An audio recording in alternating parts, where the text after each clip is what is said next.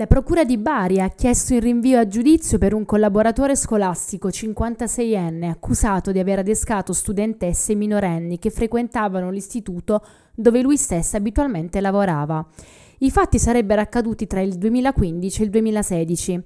Stando alle indagini iniziate grazie ai genitori che hanno denunciato l'accaduto, il 56enne aveva preso di mira tre bambini rispettivamente di 10, 12 e 14 anni. Sono state raccolte numerose prove, tra cui messaggi privati e inviti in chat su Facebook, pieni di complimenti e lusinghe. Ti va di vederci e prendere una bella cosa?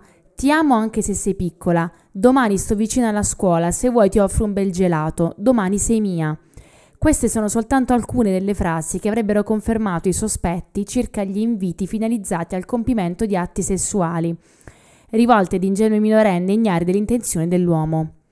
L'udienza preliminare per il rinvio a giudizio inizierà il prossimo 26 ottobre.